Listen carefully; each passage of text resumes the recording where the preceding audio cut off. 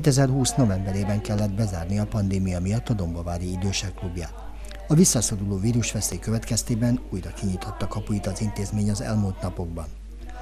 A bezárás ideje alatt szociális munkások folyamatosan gondozták az időseket, így látták azt a folyamatot is, miként válik egyre nehézebbé számukra a bezártság elviselése.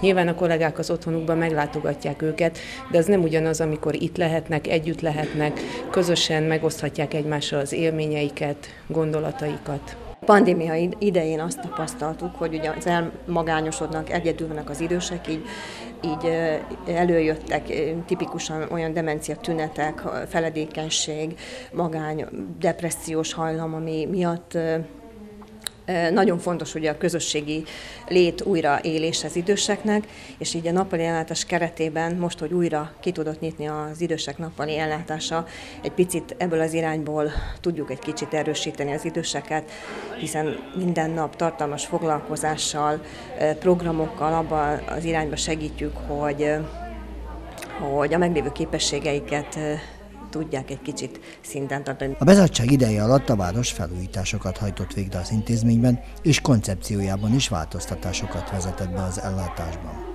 Megteremtődött annak a lehetősége, hogy a Szabadság utcai ingatlant pici átalakítással fel tudjuk újítani, és egy barátságos nappali ellátásra alkalmas intézmény jöhessen létre. Meglátogattam az időseket, és nyilván beszéltem velük. Nagyon örültek ennek az, a, az új lehetőségnek, és nagyon érzik magukat most az új helyükön. Az Arany János téren pillanatnyilag a népkonyha működik, hajléktalanokat próbáljuk ott fogadni. Azt gondolom, hogy ők is hasonlóan jó ellátásban részesülnek, még eddig részesülhettek, de számomra sokkal fontosabb volt, hogy a város időskorú embereit méltó körülmények között tudjuk ellátni nap mint nap.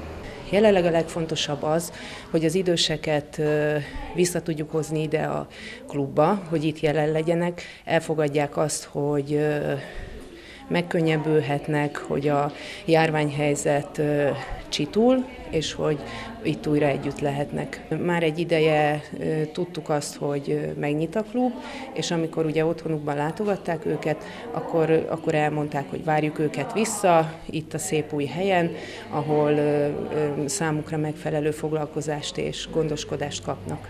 Az Egyesített Humán Szolgáltató Intézmény két nagy szolgáltatási rendszert működtet a városban és a kistérségben is, a házi segítségnyújtás jelenti az egyik legfontosabb feladatot.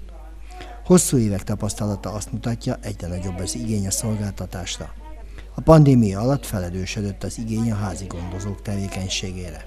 Az Ösztikek Alapszolgáltató intézménye május, május 17-ével egy új telephelyen nyitott ki, és ennek a telephelynek az apropóján egy picit a szakmaiságunk is tud egy másik irányba menni, ugyanis ebből az intézményből fokozatosan egy demens nappali ellátást szeretnénk kialakítani.